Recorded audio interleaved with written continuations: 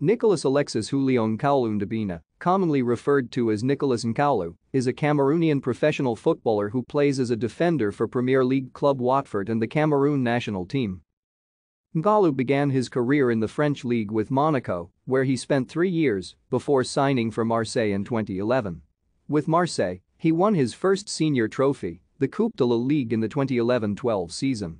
In 2016, he left Marseille for Lyon, but after a disappointing year he left to join Italian club Torino, initially on loan, but later on a permanent basis.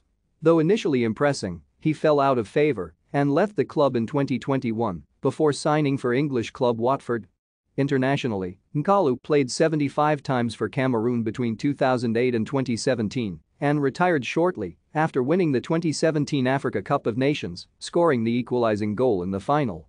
He represented Cameroon in two World Cups and three Africa Cup of Nations. Nkoulou began his career at Kadji Sports Academy in Douala, the same academy that produced the likes of Samuel Eto'o, Carlos Kameni, and Eric Djemba Djemba. Thank you for watching. Like and subscribe if you would like to view more of our videos. Have a nice day.